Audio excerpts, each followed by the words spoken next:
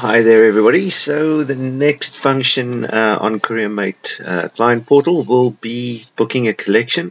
So we've got two ways of doing this um, if not integrated with e-commerce. Um, you can navigate to new and then new collection to generate a collection.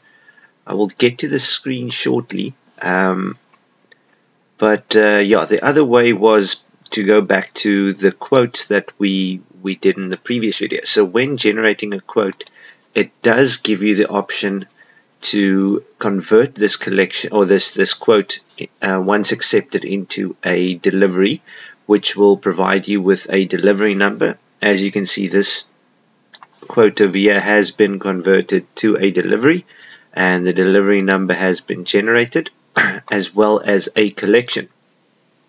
So once this, uh, once you accept a quote, so by clicking on your little pencil next to the quote to edit the quote, you can convert this quote to a delivery number. So the delivery number you would leave blank because this gets auto-generated for you. You will then enter the name of the person who is accepting this quote and you click yes. This will then change your quote screen, your editing of a quote, to a delivery screen with a delivery number present. So you'll see you're now on an edit delivery. It gives you the, the delivery number that was generated um, automatically.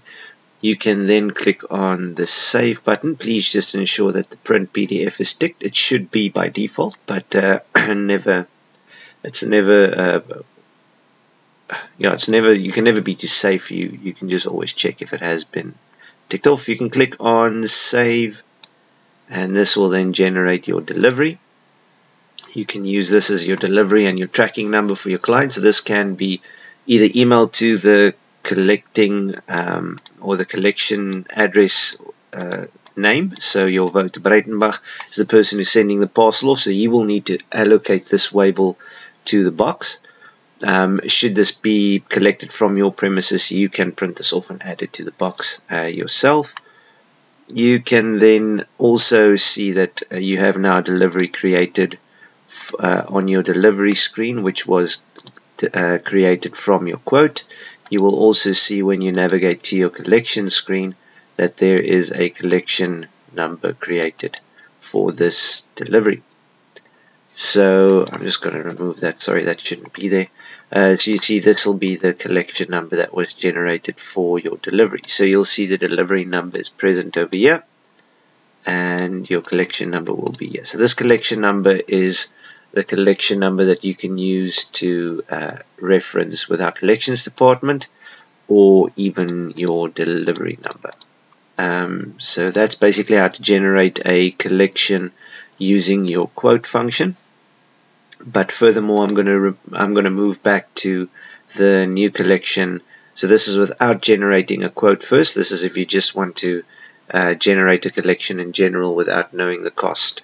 Uh, or if you actually know that it's going to be the minimum cost you can just generate a collection um, from the screen directly rather than doing the whole quote thing and then converting it um, I do apologize for the waiting it does seem like the internet is a bit slow um, but okay, so we're on the new collection screen. Once again, you'll see you've got your three tabs. Um, this is your general addresses and pieces. For this one, once you've filled in all the details, the charges tab won't uh, won't appear, seeing as it's not a quote.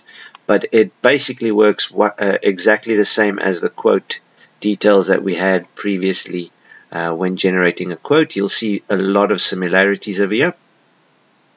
Um, but in the general tab you will have your customer details. Once again you can't you can't change this. This is linked to your account. You can then change your um, collection name. Should it not be collected from your uh, your premises you can change this. I'm just going to show you again. You can either change it to voter or the person that you're collecting from. Um, or you can keep it as your demo company or the company that is linked to this if it needs to be collected from your depot. For this example, um, I'm going to leave it as is. It's going to be collected from JARC Demo Company in the origin of Johannesburg. Um, we are going to do a overnight service, please just remember that this service now becomes very, very important. Um, so if it needs to go overnight to Cape Town, please note that it will be uh, arranged for overnight uh, collection and delivery. So very important to select the correct service. Uh, should it be a local parcel, so from Joburg, Joburg, Cape Town to Cape Town, Durban to Durban, you would use the same day local function. This is for the main centers. So you'll use the same day local service for something uh, done locally. If it's uh, inter inter branch or inter interstate parcels, it'll be overnight or road freight for the rest of the countries, uh, depending on which you feel would be the correct service that you require. Um, again, reference. So you can add a reference um, of an. We normally use the example of an invoice number uh, which the client then uh, you've got an invoice that you've invoiced the client or you've got an invoice where you've purchased something from your your supplier you can add that invoice number just for us to have a reference when collecting the parcel um, from the collection address so you can add that reference um, reference field in there it does show that it's a mandatory field so I do think we will need to enter a value here which is it, it is not the norm but I'm going to leave it blank for now just to see what it does. Um, I'll show you the error should it actually pop up an error. Driver and agent you can leave as none. Um, invoice value and total pieces can be none for now. We will be filling in the pieces in the pieces tab a little bit later. So the collection, should it be to a specific, uh, be delivered to a specific place, this one collection, you can add uh, the collection details on the right hand side. Um, so yeah, I'm just going to pause for a bit because I've got to got to explain something um, with regards to the nature of your business, um, because we can treat this in in multiple in multiple ways. So should this be collected from a supplier, I would suggest that you have the collection name as your supplier name, and then the delivery name as your company name. Hence, it is going to your premises.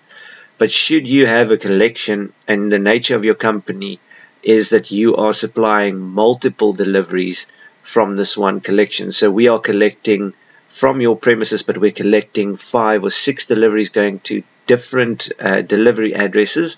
You would not need to complete the delivery uh, delivery side of this collection. Seeing as it is going to various places, it will then just confuse us and it will then force you to capture a collection for each delivery uh, that needs to be done, which means you're going to have to capture five collections, which is a lot of work, um, as well as it will then spam us with five collection email addresses.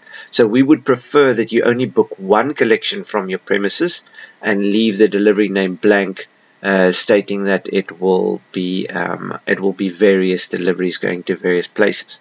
But if it is a singular parcel that is being sent, you can complete the delivery details um, on the right hand side because that would then just save you the effort of having to do it when you uh, then convert it to a delivery you don't have to capture that delivery from scratch. Um, when it comes to various deliveries uh, from one collection we would rather have the one collection booked and then we then capture the deliveries separately afterwards which will be the next video that I that I produce uh, will be creating new deliveries. So for this uh, example, I'm going to leave the delivery name as blank because I'm going to assume that we're doing three or four parcels um, going to various places. Uh, so only one collection from your premises at this stage. But once again, this can be completed. It's not set in stone that you can leave it or that you have to leave it blank. Um, so if you actually fill in a singular one, you would need to have a destination. Once again, you can add an, an other service, but the other service will have additional charges as mentioned in uh, previous videos. You can add special instructions to this collection. So special instructions stating that the driver needs to collect at the back door or the, uh, the driver needs to be there between 11 and 12. So special instructions is basically uh, we, anything that you feel can help us or assist us with the collection uh, we close uh, for lunch. Hi. Lunch, uh, close for lunch, 12 to 1. I just want to fill this completely. Okay, so 12 to 1, we close for lunch. That'll be your special instructions. And from here forth, you can navigate to your, sorry, you can have a picking order number. So this is if we have to collect from from a service provider or your um, your supplier, you can have a picking order number should they provide you with one. So we would then navigate to the addresses tab so you'll see that your company details is already on the left hand side. Um, it's a bit contradicting seeing as it was loaded as Paro and it's now Joburg on the on the general tab, but that would uh, would not happen. This again, this once again, this is a demo company. Your details will be present on the left hand side your collections address. Delivery address again, uh, once again, it is various deliveries, so we leave the delivery addresses blank. Should it be a singular collection and delivery, you can add the details on the right hand side just to complete uh, the waybill easier when we create a delivery. Uh, so next we would go to the pieces. You would then, if there is multiple pieces, you can add, there are five parcels to collect and it weighs about 20 kilograms in total and hit plus. This way we would then know that there are five different deliveries coming our way when collecting um, and it is approximately 20 kilograms. So now this is again uh, various deliveries. We need at least one record in this grid. So uh, it could just state one, one, one, one all the way through if it's various places um, or various deliveries, but we do need one record, so you at least need to add one line of values. Uh, from here forth, you can click on save, and this will then generate your collection. You can see over here we've created the collection. So this is your collection screen. It did not open the pop-up, seeing as I already had a tab open. It just refreshed that tab with the, the collection number over here. So this will be the collection number for your various collection or deliveries that we need to do from your company on the left hand side. You'll see that the special instructions are visible over here. Uh, this will be your collection number, as I said, to reference with our collections department. If we close this off, you'll see your screen is now automatically on your collections uh, tab or your collection screen, which can be or uh, which can be navigated to by clicking on operations and collections. So you will see this is the collection that we booked um, now with the various delivery points. We've got the collection uh, at JARC Demo Company the origin is in Joburg. There are five deliveries that we need to collect and we close for lunch between 12 and 1 so we need to uh, not try and bother you between that time or we won't get access to your building at that time seeing as there will be nobody there.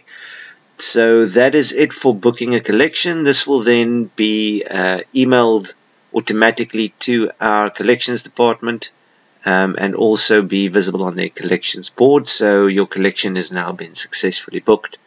Um, again, if you then have got manual labels, it can be converted to a delivery by clicking on the pencil, then clicking the convert and adding a delivery number. If you want to convert that delivery or that collection to a delivery and you do not have a manual number, you can leave this number blank and it should generate a number for you. It will take you to the edit delivery screen and you'll see there's your delivery number. You can now click on save and it will then oh sorry you need to complete the delivery details on this one so once again if it's a singular one you will then add the delivery details on the right hand side and then click on save to have the delivery created as a PDF so it can be converted from a collection, um, but if it's various deliveries, it's not necessary. This is again, once again, if it's only a singular delivery uh, or collection and delivery, you, you can convert it to a waybill. But um, if it's various, uh, the conversion process uh, does not need to be followed.